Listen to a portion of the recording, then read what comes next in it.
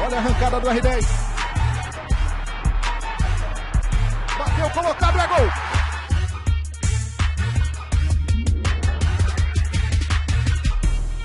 Ronaldinho Gaúcho. Ih, rapaz, que caneta no Robinho. Que isso? Só tabelinha. Toquinho do Ronaldinho. Ele gira. Deixa na cara do gol.